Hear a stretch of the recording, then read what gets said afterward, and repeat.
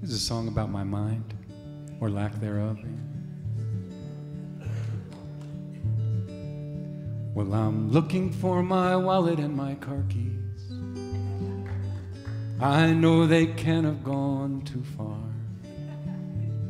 And as soon as I can find my glasses, I'm sure I'll see just where they are. I'm supposed to meet someone at noon today, but I can't remember where or who it is I should be meeting. Good thing I've got an organizer, it's all there. Could have sworn I left it on the counter. Then again, it might be in the car. Last time I remember driving it was to that memory enhancement seminar. What's that funny distant ringing with a strangely familiar tone? Well, that must be the person I should be meeting, calling on my new cordless phone.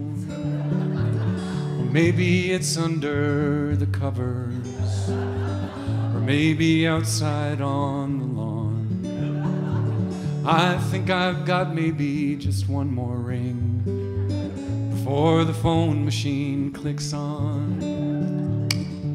Hi, this is Steven. I'm not home right now. Just leave a message at the tone. And I'll do my best to remember call you back when I get home.